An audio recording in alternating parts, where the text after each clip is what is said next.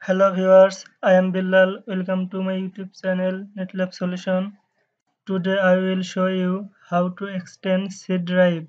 So let's do the work. First open this PC and you can see there are 4 drive and my C drive is 100 GB. I want to extend my C drive. So you go this PC and click right click and you go manage.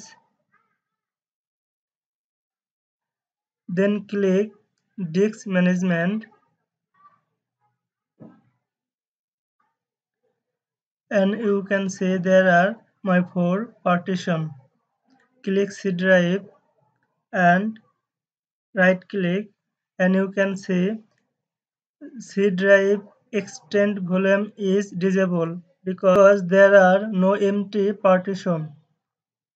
So first I need a empty partition. For this I back my this PC and click D drive and copy all my file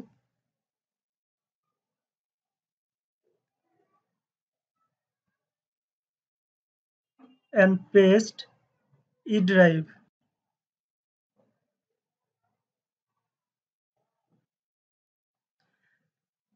Again go to this PC and right click then go manage and then click disk management and first click D drive and right click and delete this volume. This is unallocated so you can extend C drive. So you click C drive and right click and you can see this extend volume is enabled. So you click extend volume then click next. This is extend volume size. So you click next finish